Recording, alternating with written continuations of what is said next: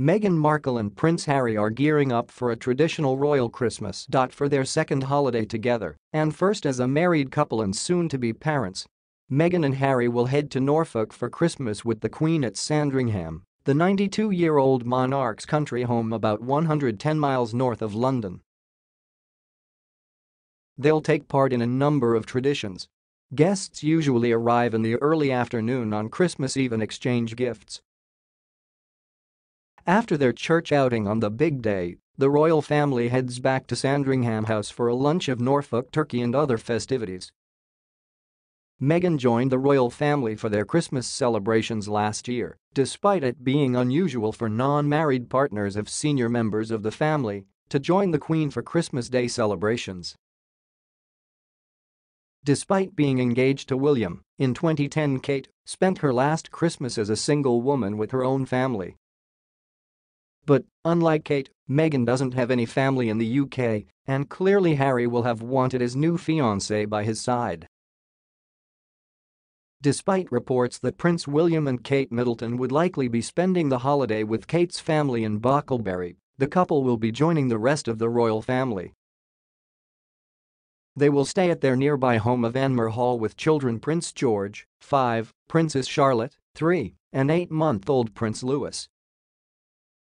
Claims have swirled about tension between brothers William and Harry and their wives, Kate and Meghan.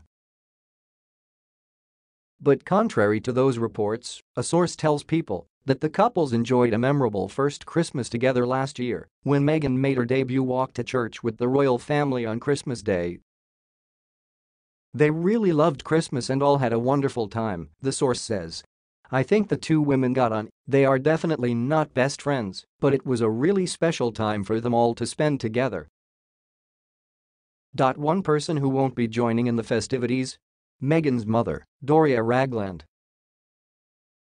Despite previous reports that Doria was invited to spend Christmas with the royal family, People confirms that the Los Angeles-based yoga instructor and social worker will not be in Norfolk. The Middletons have never joined the royals for Christmas, but Kate and William decided to skip spending Christmas at Sandringham in 2016. Instead, they brought Prince George and Princess Charlotte to church with Kate's family in Englefield, England, near her childhood home.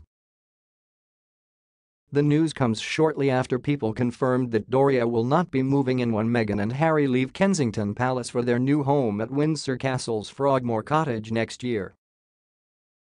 Doria may have rooms set aside for her in the cottage, located close to the house where Harry and Meghan's evening wedding party was held and where their engagement photos were taken about a year ago, but she's not making a permanent move there.